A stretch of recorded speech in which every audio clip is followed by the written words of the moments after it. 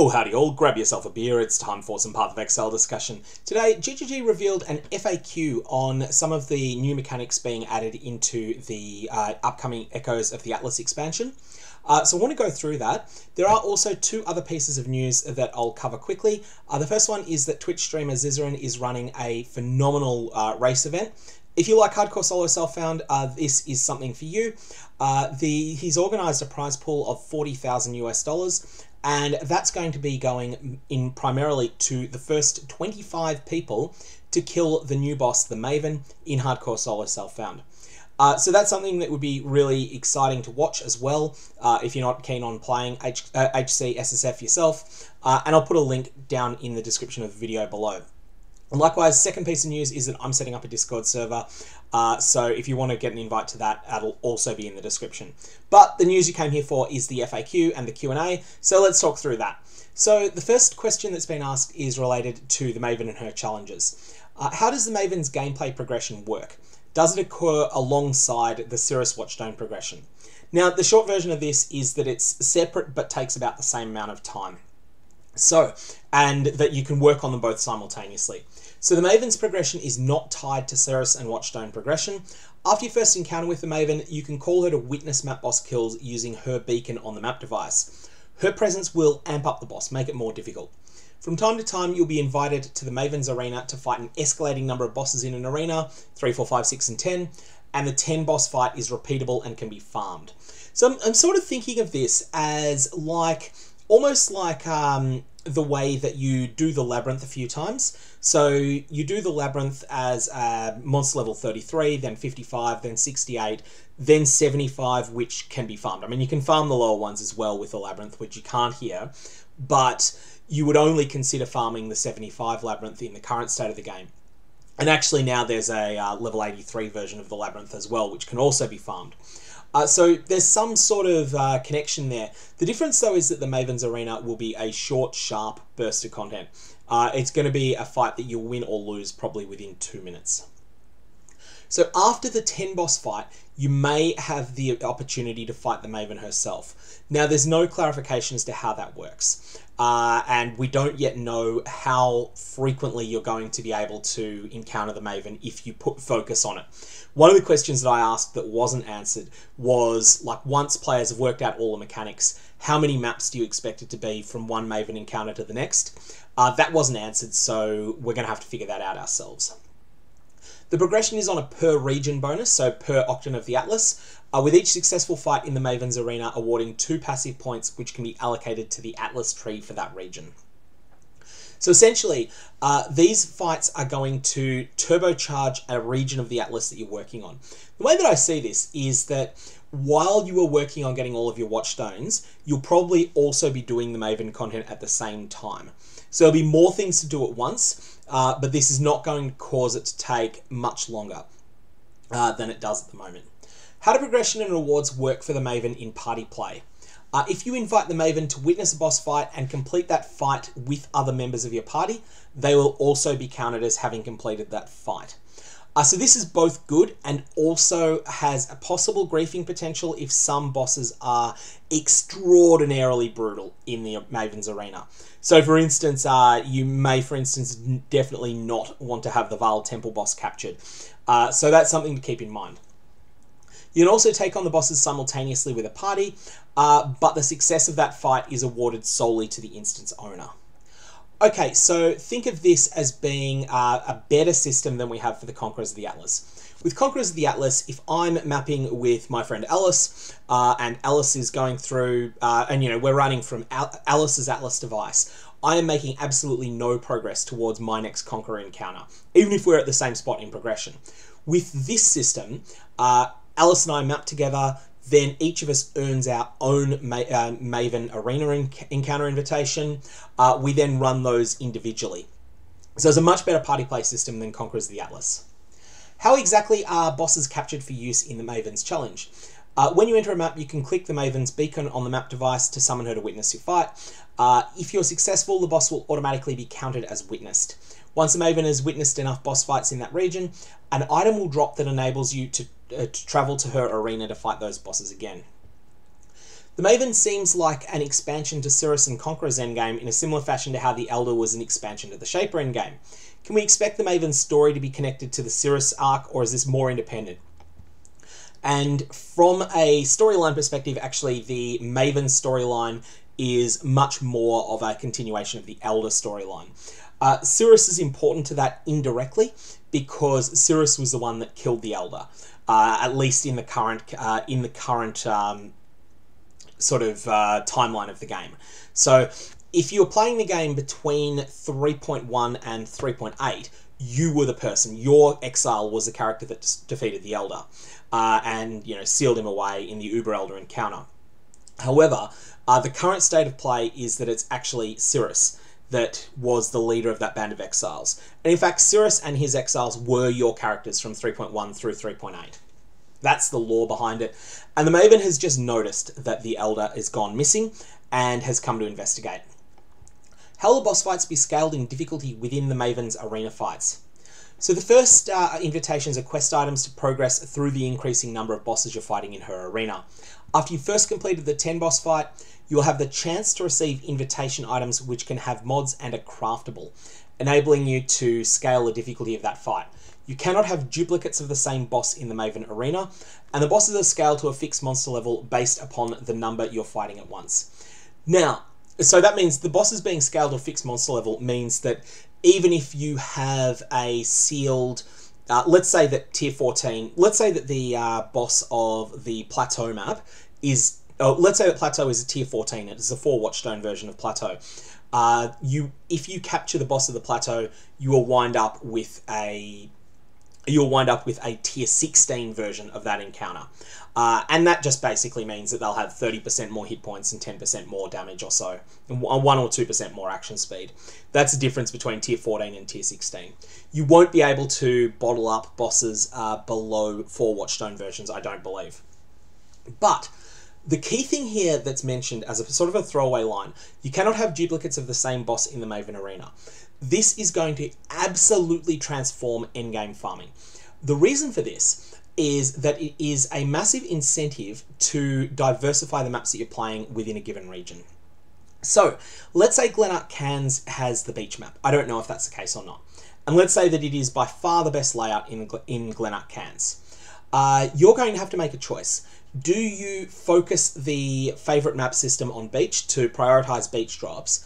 uh, but then in doing so, not get enough other maps from Glennach Cairns to smoothly run uh, the 10 boss, uh, 10 boss fight uh, as often as you could? Or do you just focus on uh, do you focus on running a variety of maps? Don't even use the preferred map system possibly, uh, and encounter lots of different bosses, uh, lots of different um, bosses there that you can then bottle up for the Maven.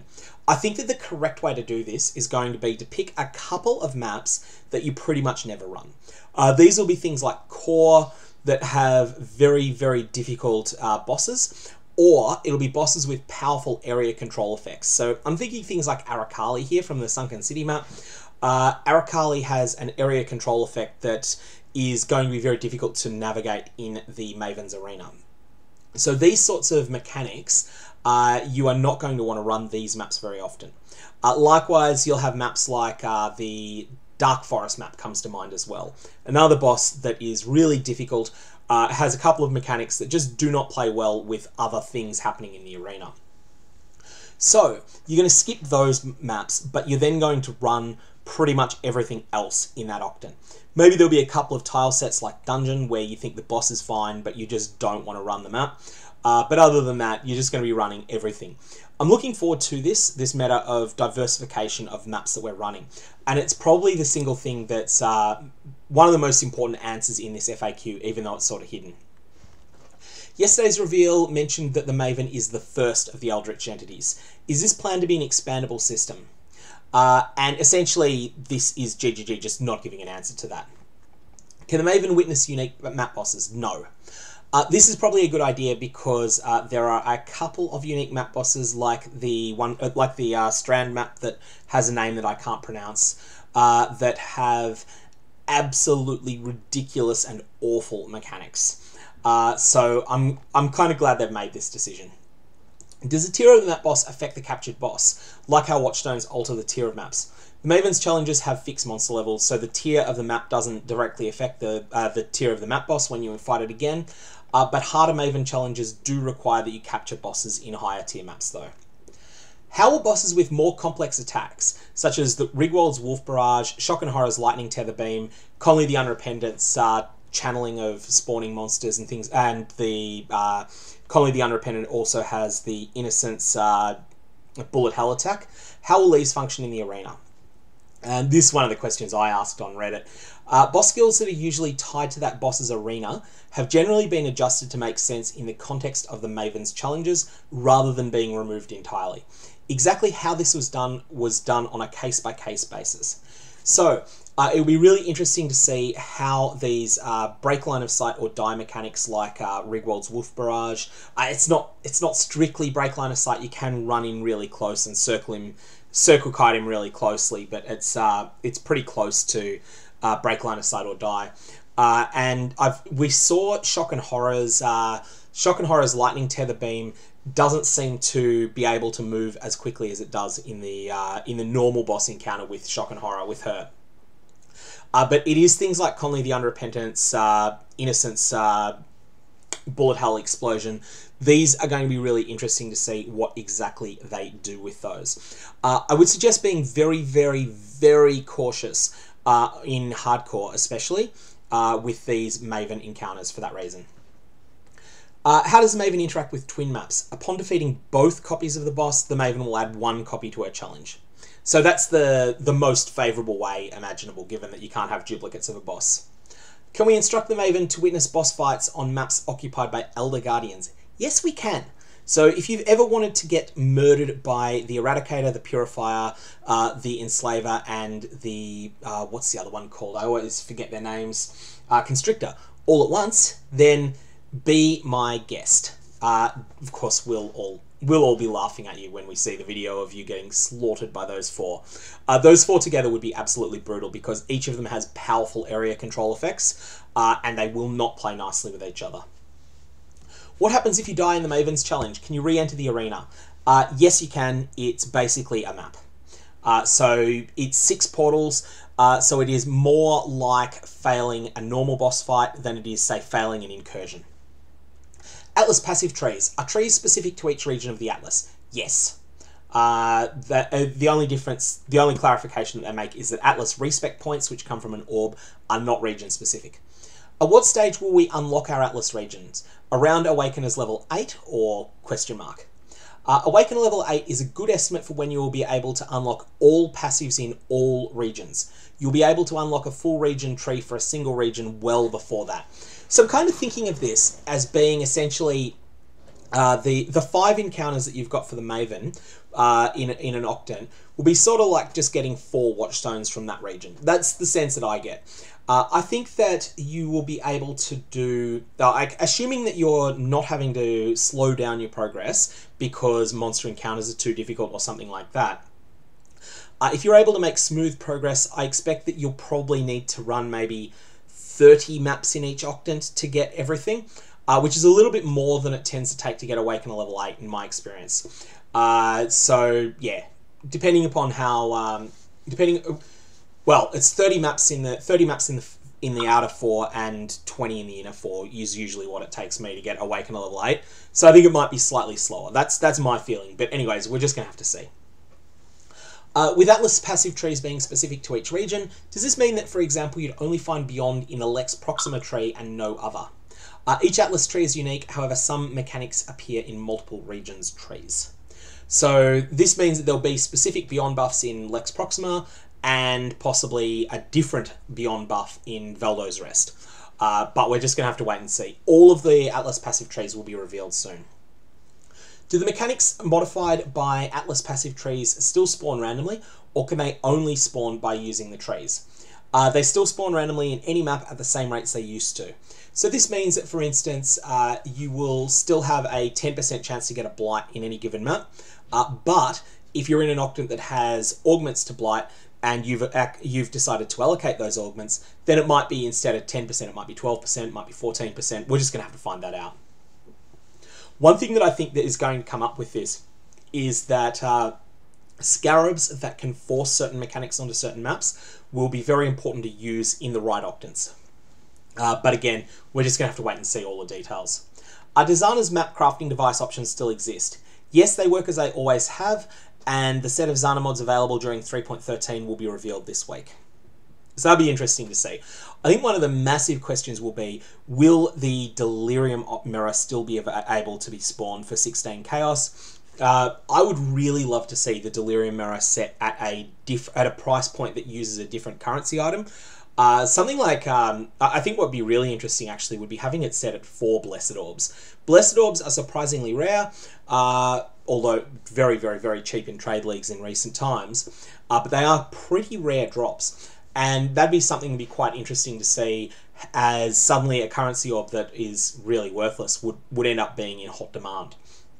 Uh, so I'd be interested in seeing that. Or also you could have um, something like uh, Perandus available for three Regal Orbs would be another thing. But anyways, uh, that's that's getting out of FAQ and what's actually happening and into what I would like to have happen.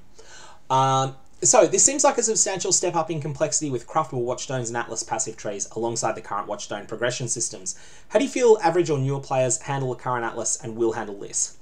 And a key answer here is basically by the time you get to this, we think you'll be fine with it, uh, which I think seems actually right. Craftable watchstones are optional content that do not lock your progression and are introduced well into endgame. So I'm working under the assumption, I could very well be wrong here, that the craftable watchstones will drop uh, from the 10 boss fights. That's my expectation here. Uh, and so in order to get the 10 watchstone fights, you're going to need to have four uh, four watchstones in that area anyway. Uh, not necessarily that you've actually earned all four of them from that region. That's my guess. Um, I could very well be wrong. Players that want to maximize their watchstone bonuses will have a reasonable understanding of the mechanic by the time craftable variants are introduced. Uh, I agree with that. You'll, um, you know, you may not know all of the nuances, but you'll certainly have the basics down pat before you see your first craftable watchstone. Uh, both Atlas passive trees and craftable watchstones are prominent features that don't require continual upkeep or time investment. And can I just say, this is a huge improvement over Scarabs. Um, Scarabs require continual upkeep, continual time investment, uh, whereas this is just basically none of that. How do you obtain Atlas respec points? A new currency item will grant them. Uh, this item will drop randomly, but there are also more deterministic methods of obtaining them which you may discover while playing. So what I'm thinking this is going to be is that uh, there'll be a very, very rare uh, drop that will, you know, world drop that can be an Atlas respec point, uh, but there will also be some vendor recipe for them. That's that's me reading between the lines here. So essentially, that will put some sort of price cap on how expensive they can be. So let's say it might be something like, you know, vendor 10 Regal Orbs to get one Atlas respec point. Uh, that would be a deterministic way of acquiring them, uh, whilst you can also have it drop randomly anywhere. But I'm only purely speculating with that vendor, you know, vendoring 10 Regals is just me entirely guessing. How hard is it to respec the Atlas passive trees? Is it something players would need to adjust often or leave intact most of the time? Uh, and essentially, how often you want to change your passives is up to the player and what they determine to be profitable. I think that the main thing early on will be people will very early on will just experiment with things to see what feels good. And as a result, there'll be a lot of respecking early in the first league. So in 3.13, there'll be a lot of early respecking of the Atlas points. Then after some time, uh, people will work out a general best approach. And I know that I'm intending to put out an Endgame Atlas guide probably pretty early into the new league uh, that will not cover any of the mechanics of how to get your watchstones, how to make your Maven progress, uh, but that will just be how I'm setting up my Atlas and what I think you should, you know, why I'm making the choices I'm making. Uh, that's certainly something I've got planned. But it may be the case that you may want to uh, set things up a little differently. One good example of this is that it's my opinion that the Strongbox's wing uh, that's been revealed, there's a, there's a Strongbox setting where there's four points to take that causes all Strongboxes to be rare and corrupted.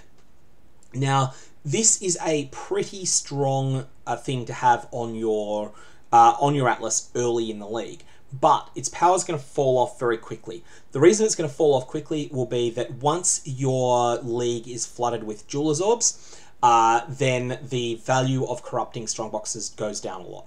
Now, when I'm saying Jewelers orbs, I'm talking about six socket drops uh, dropping there. Uh, you'll find that uh, with the way that uh, Vald chess work, uh, Vald strongboxes, you'll get a very large number of six socket items and actually a meaningful number of six socket, six link items as well. Uh, but if it's early in the league, uh, these will have some actual value to use in a trade league, uh, and maybe even to use, uh, you know, maybe even there's something valuable at your loot that you'll use yourself. But then later on, uh, these will fall off in value really quickly. Uh, so for that reason, I think you might want to take that strongbox wing early. Later in the league, though, uh, that competes with a lot of the incursions, uh, with the incursion uh, bonuses that are available in that Atlas Octant. And so at that point, you're going to want to go, oh, I'm going now swap over and prioritize those uh, those um, those incursion ones, which are incredibly powerful. But all this will be something I'll discuss a lot more in detail when we get the full Atlas trees. And my initial thoughts then I'll discuss as well. In-game rewards. How can I track which Watchstones and Atlas passive trees are affecting my maps? Uh, when you put a map into the map device, there'll be a pop-up which shows which stats are being applied to it by Atlas passive trees and Watchstones. Uh, this is cool. This is going to be a necessity. Uh, one thing that's going to be really nasty in the new league, because there's so many of these little bonuses happening, uh, the list of map mods that comes up in the top right hand corner of the screen, uh, if you don't minimize it, is going to be completely useless. Uh, it's already been getting to the point that uh, it's sort of nothing fits on it, but it's going to be much worse now. Uh, so this is a good little change where you can see only those bonuses uh, from the map device, and then you'll have the list of actual map mods that you can consult during the map if you really need to. Uh, is there a number a limit to the number of craftable watchstones you can use at once? And essentially the answer is 32, four in each octant. Uh, note that each watchstone is linked to is locked to a specific atlas region. So this will be indicated in the watchstone's name. So that was something that was made clear in the uh, in the original introduction of these things, but uh, it's something that could easily have flown under the radar because there was so much information there. The idea behind this is to prevent optimal gameplay involving constant shuffling of watchstones around your atlas. Uh, at first, I was thinking, why is it this locked to Lex Proxima? Uh, then when I when I saw this line, it's like, yep, that's definitely the right call. Uh, no need to stuff around with swapping things all, all the time. Can I use multiple of the same type of craftable watchstone in the same region at once? Yes, and the effects of their mods will stack. Do craftable watchstones ever burn out? No. Are craftable watchstones tradable? Yes. Now, this is a big one. Uh, this is really significant because it means that you can apply sextants to them and if you get one of the genuinely precious sextant rolls, you can trade it. You could already do this with the ivory watchstones, but they were fiddly. Uh, with these, you can use these permanent uh, permanent watchstones forever, uh, and this is going to be completely broken beyond belief uh, in conjunction with the Nemesis modifier. Uh, Nemesis monsters drop three additional currency items, and the harvest uh, sextant uses, uh, the map's sextant uses are not uh, used together. That harvest enchant, which is almost certainly not going to be in the game in this league. But for standard players, uh, definitely you will be able to craft Nemesis monsters, drop three additional currency items onto a craftable watchstone. Uh, and then use fractured fossils to duplicate your maps that have that har- uh, that harvest enchant on them, and just do absolutely ridiculous things with them. Uh, do craftable watchstones contribute to awaken a level? Yes. However, you probably won't get many. Uh, can you find craftable watchstones before you get all your normal watchstones? Yes, but you probably won't. Uh, what items can the Maven's Orb be used on? Uh, now, we're getting into the Maven's Orb at this point. Uh, any influence body armor, helmet, gloves, or boots with at least two influence modifiers. Now, that's really interesting. Uh, I had not for a second thought that you couldn't use it on weapons. Uh, so you can't use them on weapons. Legacy modifiers or modifiers that can't be changed, e.g. suffixes on an item with suffixes cannot be changed mod, aren't valid.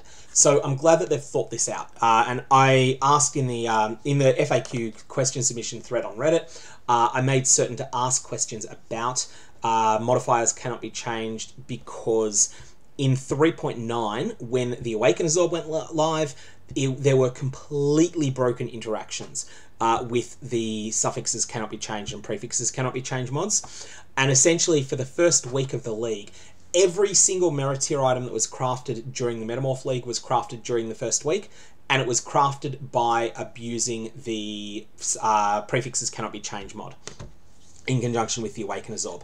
Uh, so without going into the details of how that worked, I'm just glad that they've thought about it, they've uh, learnt from the mistakes that were made in 3.9, and they're not going to be made again. What mods exactly can the Maven's Orb upgrade? Can you upgrade any influence specific mod? A tier 3 mod will be replaced with a tier 2 version, for example. If it selects a tier 1 version to upgrade, it will replace it with a new elevated mod that has even stronger effects. And I assume that we'll get all of these data mined at some point. How does the Maven's Orb interact with items that have multiple influence types? It doesn't distinguish between different influence types in any way. For example, if you use it on an item with three Shaper modifiers and three Redeemer mods, it will still pick one modifier to remove and one to upgrade at random.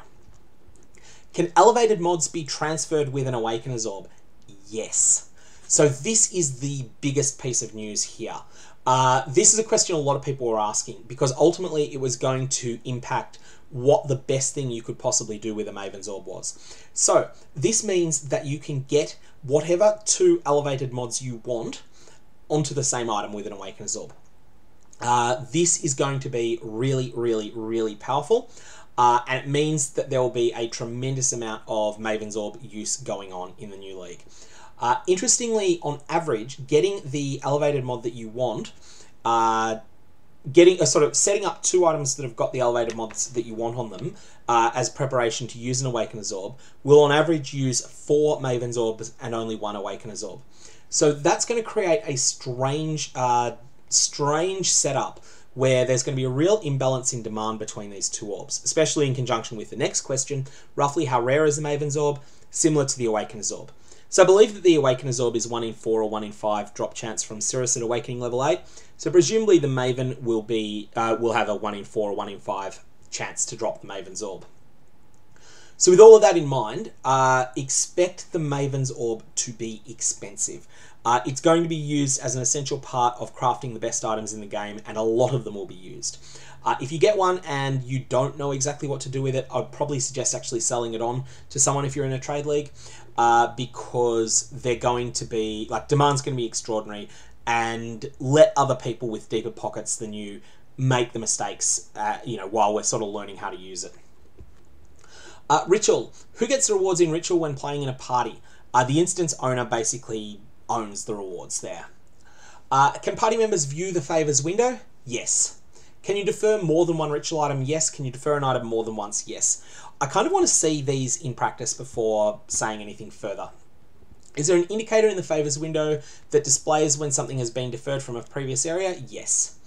Uh, what happens when two or more people are in an area with a ritual and one of them is not in the ritual circle? Everyone needs to be within the ritual circle when it starts to participate in it.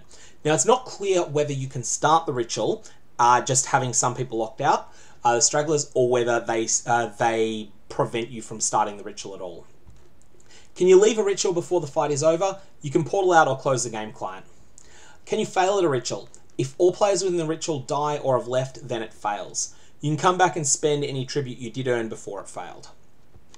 Can you lose access to the rewards you've deferred? Uh, if a deferred reward comes up again in a later area, you should either purchase it or defer it again. If you don't defer it again, it doesn't vanish immediately, but it, its cost will increase. If you allow it to get it all the way back to its starting value, then it will disappear. Are we intended to pull monsters to the ritual sites? No, and you won't be rewarded for doing so. Do items from the favors window use the new high, high quality rare item generation system? Some of them will, but it depends on the type of item. Uh, there's a variety of stuff offered and a variety of different ways they do that. Uh, do the set of favors offered persist throughout an area or do they change between rituals? Uh, all items appear in the first favors window, but some are shrouded. The more expensive and advanced items will be unlocked after completing later rituals in an area. So essentially, uh, if you want to get the best items there, you're probably going to need to do all three rituals in a zone, or potentially all four, as we'll get to later. Are there any ritual-specific rewards, such as new bases or uniques, drop from monsters during rituals, or are they only tributes? Uh, they only come from tribute. Ritual vessels capture monsters from a ritual site to use in later maps. Is this instead of doing the ritual, or just afterwards with nothing lost? Uh, and it looks like you can, uh, it's just basically afterwards with nothing lost. Uh, ritual vessels apply the captured mon monsters to all ritual sites in a new map? Can you then use a vessel to capture those again, plus the new monsters from the new map, stacking them again and again? And you can only use ritual vessels so, uh, in a map that does not have a vessel active on it. Uh, so are there numbers always three rituals per zone? Uh, no, it increases as you progress. Uh, current cap of four altars. Will there be any sextant mods related to rituals? No. Uh, that said, mods that increase the number of monsters in a map uh, will impact how many monsters you encounter in a ritual. How is the barrier around the ritual circle enforced? You cannot enter it or exit it, but it doesn't hurt you. Uh, one question that I did have that wasn't answered there uh, relates to how that barrier interacts with smoke mine or untargeted teleports like that. I'd like to know the answer to that, uh, but ultimately I would suggest that if there's a ritual you care about winning, that you don't smoke mine uh, from within from within side to to attempt to cross that barrier. Ascendancy classes. Uh, what's happening to the Scion? Uh, it's getting reworked, and we think she's in a good place now. Now, I've said for a long time that the Scion has been being held down by the existence and the power level of the Unnatural Instinct unique jewel. Uh, the Scion can use Unnatural Instinct so much better than any other class, and this jewel, this very rare jewel, very powerful, very rare jewel, which I should actually uh, do a video on for the video that I, uh, video series I've been putting out about uh, endgame unique items. Uh, the Unnatural Instinct jewel is so incredibly powerful on a Scion that essentially the Scion has been balanced around its existence in recent times. Uh, I'm not sure what's going to happen here. If this, uh, so, if the Scion is in a good place now without Unnatural Instinct, then that means that Scions with Unnatural Instinct will be incredibly strong. So I have to keep an eye on that. How does Battle Mage interact with Spellslinger? The damage from Battle Mage and Spellslinger add together. So Battle Mage is a mechanic that uh, is on the Inquisitor tree at the moment, where the uh, where your weapon's base damage is added to the damage of spells that you fire. So what that means is that if you've got a Varlax that has the... Uh, if you've got a Varlax and it has the mods Malicious, which is plus some percent, uh, some amount of flat chaos damage, and Cremating, which is some amount of flat fire damage, then all of your spells will gain the benefits of the Malicious mod, the Cremating mod, the, those extra damage, that extra flat damage, plus the base damage of the Varlax's physical as well. Uh, so this is a really interesting setup where it removes some of the tension in terms of how you gear a character that is trying to both attack and do damage with spells. Uh, we're going to have to see how this works in practice. But if you are using a wand and you have Battle Mage and you are using Spellslinger, you're going to get double benefit from your weapon. This could be really interesting. One thing of note that uh, Spellslinger and presumably Battle Mage as well do not have a good interaction with conditional increased damage. So what I'm talking about here is things like the Shaper mod, uh, add X to Y cold damage per 10 dexterity your character has. Uh, that's flat out not going to work. How does the Primal Aegis skill on the Elementalist Bastion of Elements passive work? Uh, similarly to the existing Aegis skills, which are only available from memory on uh, a couple of unique items that drop in the unique Moon Temple map. Uh, when the Aegis is active, it absorbs incoming elemental damage from hits instead of you. Uh, the Aegis will be restored to full if it doesn't take elemental damage from hits for a short time. So this will be a considerable amount of protection from uh, cold, fire, and lightning damage. It's also worth noting that recharge for all Aegis skills now can't be interrupted if they're completely depleted. The recharge time is 5 seconds on Primal Aegis, uh, which is different to the other Aegises. The amount of damage that Primal Aegis can absorb is based upon how many notable passives you have allocated. I think this is actually a really powerful defensive node. Now, there's been a, the way that it's currently worded. So this is the Elementalist node that grants you a degree, an ablative shield against elemental damage. Uh, this node is interesting in that it's um, it uses the term notable. Now, to me, that means the normal passive tree. However, some people have said that Neon from GGG has stated that it's actually not the normal passive tree, it's the ascendancy tree. So we're just going to have to see which of these it is. If it is notables on the original passive tree, then this is a huge defensive node. It's going to provide an ablative shield blocking, you know, two or three thousand elemental damage, uh, which is just amazing. On the flip side, uh, if I'm if I'm wrong and it's uh, what people have reported to me that Neon says it is, uh, and it's only 800 points, then it's not nearly as significant. Let's just wait and see, but I think you're going to take that node for uh, Elemental Reflect Immunity anyway. Harvest. When does harvest content start? Maps. Uh, with the rework uh, removing the gardening side of things, how will the Oshabi questline and subsequent fight be assessed? Uh, occasionally, a portal to the Sacred Grove will contain the Oshabi fight. Her rewards are being reflect- rebalanced to reflect this change. How will I locate the pairs of harvests in the grove? They appear on the minimap. Heist. Uh, what's happening with split split base? Uh, essentially, split base will no longer duplicate all a coin investment in a blueprint. So you can still split based blueprints, but doing so will cause you to need a massive amount of coins to, uh, of, of rogue markers. So what I think this is going to mean in a trade league is that demand for rogue markers is going to be explosively higher than it's been in the heist league. Uh, we got to a point where the rogue markers were 500 to a chaos. Uh, then towards the end of the league, they got more like 120 to a chaos. Uh, I would not be surprised to see them be in the sort of 60 to a chaos range for the whole league. Uh, but we're just going to have to find that out. That's that's speculation. We still get to use the heist locker? Yes. Have you been able to solve the technical issues that forced the Rogue Harbour to become private? Yes. So you'll be able to see other players in the Rogue Harbour, which is not necessarily a buff. It's just it's just a bit of a change. GGG though for GGG though this is important because uh, they want to advertise microtransactions. One of the best ways to advertise microtransactions is to have other players uh, is to have you exposed to other players wearing them. So this was an important fix for GGG. For players, uh, it's probably not. The key issue uh, with why the Rogue Harbour had to become a private instance was that the numbers of players there was just causing overwhelming uh, overwhelming lag on uh, you know when players were exposed to 50 million different microtransactions at once. Uh, if they've changed it so there's only a couple dozen players in there at most, then even on a lower end PC, I think that should be fine. Miscellaneous. Will Sirus stay in the game? Yes. Uh, no change at the moment, uh, but it may be, may be removed or changed in the future. Uh, what are the redacted items in the new schedules? The Atlas passive trees and Ascendancy class changes. So the Atlas passive trees info is coming out tomorrow, Ascendancy class is the day after. Can we get the background for the live stream as a wallpaper? Yes, it will be available, not yet. Does the resonance support on Trinity have a cap? Yes, it does, and each element's resonance is capped at 50. This is quite a bit higher than people were speculating, uh, and it means that I need to really give some thought to Trinity support. Uh, I feel it might be an excellent support gem now, uh, but I'm not yet at a point where I can confidently state that that is true. I just think I think that for the moment. Uh, let's wait and see. How does Ignite work a scale when you have Black Flame equipped? So this is the ring that causes your uh, Ignite to deal Chaos damage instead.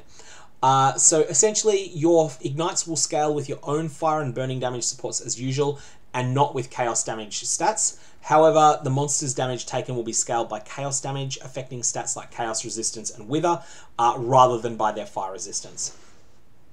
This is really strong. Like I hadn't even thought of Black Flame and Wither. Wither is a huge more multiplier for chaos damage, and I think Black Flame is going to be an incredibly powerful item as a result. Are Alpha testers eligible for prizes in league start competitions? No.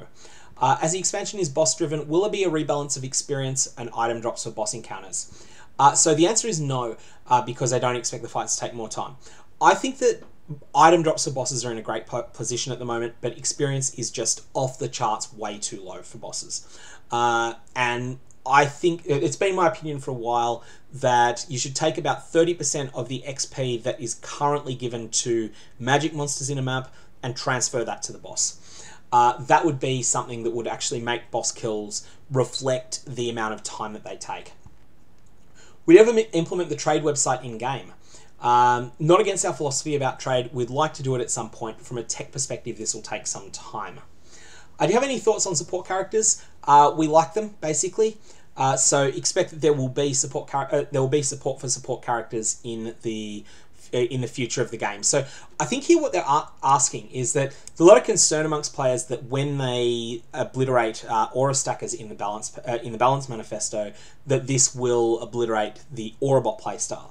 Now, it's my opinion that Aurabots were extremely strong even prior to the massive buffs that they got in Delirium. Uh, those buffs in Delirium were what enabled Aura Stackers to exist.